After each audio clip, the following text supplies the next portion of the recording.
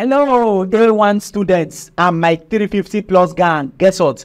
This class is all about chemical formula. Oh yes. Now the big question is, what is it that JAMB and WAEC they expect us to know as far as chemical formula is concerned? And of course, this is our lesson three of ensure that you have run through lesson one and lesson two very very fast. Lesson one and lesson two they were all about chemical what symbols, and then we've looked at everything underneath it. In chemical formula, right, we're going to look at something lovely.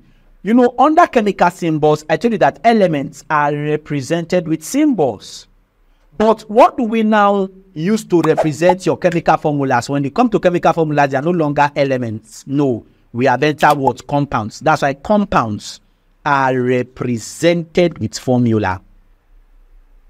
How do you represent elements? Elements are represented with symbols. Compounds are represented with formulas. That's the difference. Elements, symbols. Compounds, formula. Another interesting thing is that the formula of a compound represents one molecule of that compound. Ah.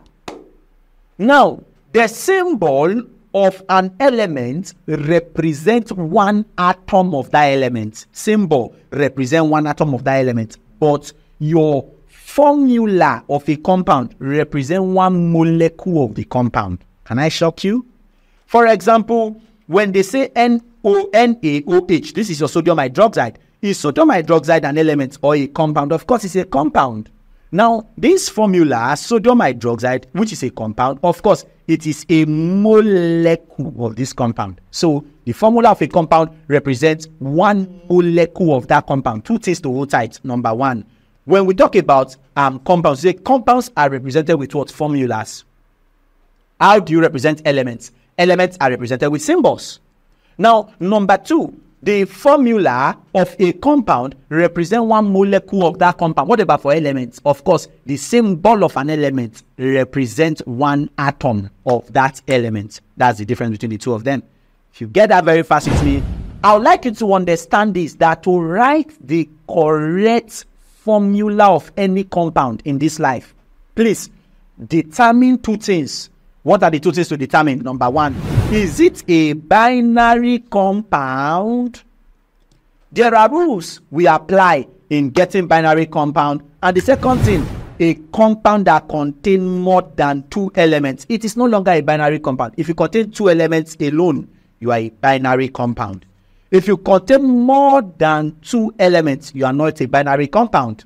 Oh, oh. now look at this very quickly. NaOH it contains sodium, oxygen, hydrogen. It is not a binary compound. Okay, NaCl, sodium and chlorine alone, binary compound. H2SO4, hydrogen, sulfur, oxygen. It is not a binary compound.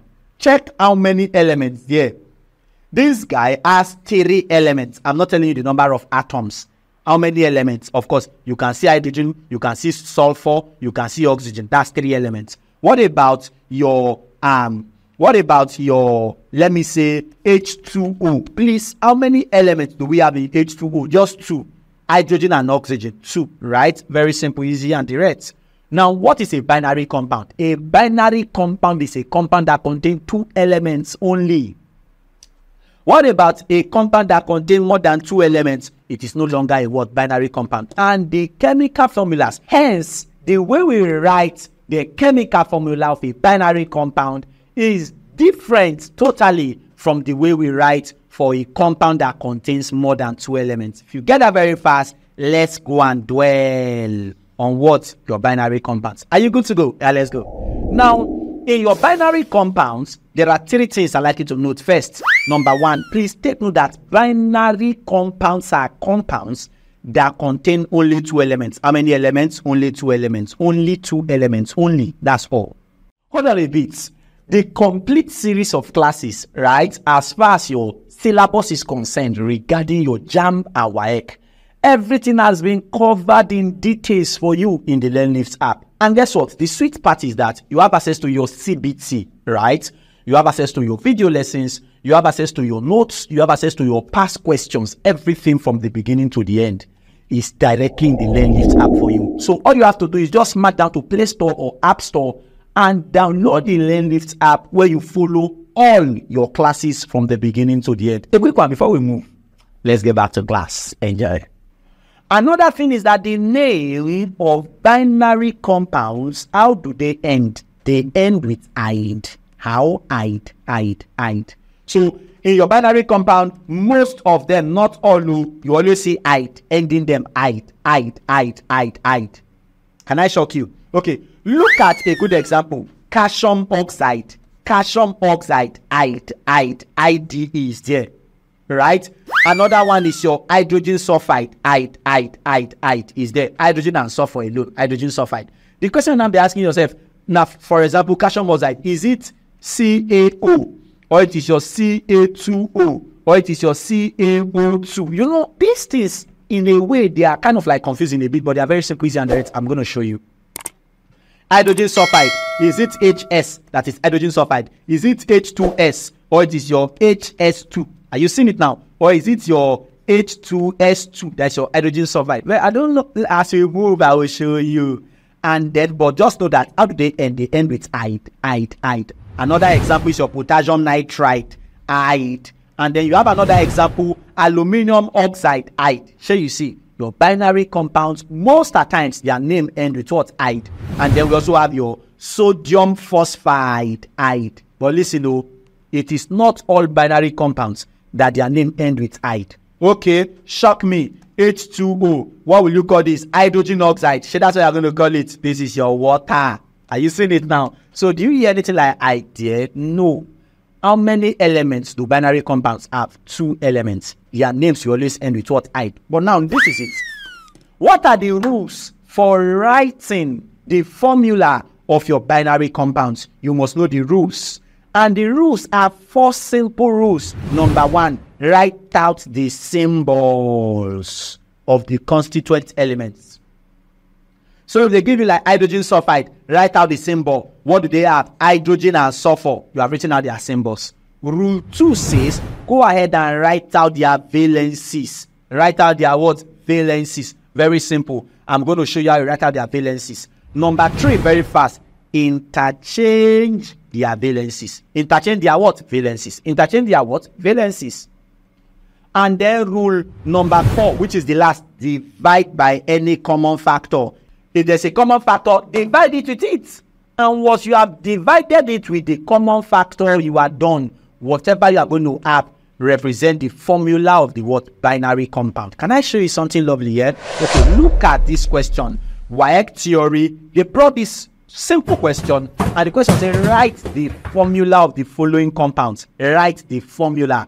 Listen there are a lot of JAMB questions in this topic as we move together. A lot of JAMB questions. You are going to be seeing all of them one after the other as we move. Write the formula of the following compounds.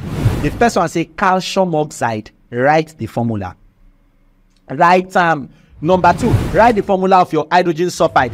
Write the formula for your potassium nitride, aluminium oxide, as well as your sodium what phosphide. Write out the formula of these five of them. Are you good to go? Yeah, let me show you how. The solution is very simple. The first one they say calcium oxide. How do I write the formula of calcium oxide? And calcium oxide is a binary compound, right? Rule one, write out whether the um, element there, calcium and oxygen. You have written that.